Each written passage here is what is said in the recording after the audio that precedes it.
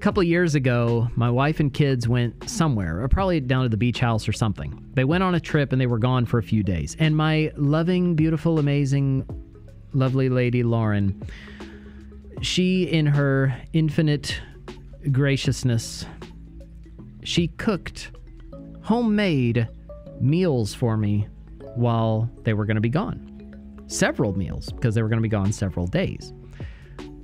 And I thanked her for them and said, Oh, that is so sweet. Thank you so much. Um, man, I'm, I'm going to be set. This is awesome. Thank you.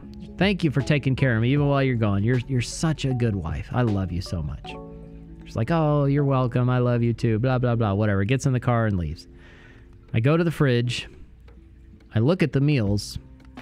And while they look and smell and sound delicious, my brain in that moment says, I don't want to eat those.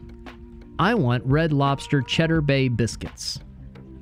So what does Dustin do?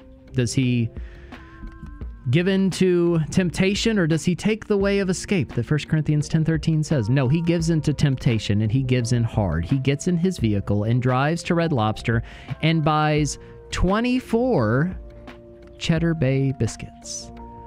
And you know what he eats for the next 4 days? Nothing but 24 Cheddar Bay biscuits. I just survived on Cheddar Bay biscuits for four days and uh, did not eat any of the meals that she had prepared. when she returned, she was not amused with the two giant trays of biscuits that I had purchased and consumed all by myself. She was she was quite upset with me. And rightfully so. But they were really good.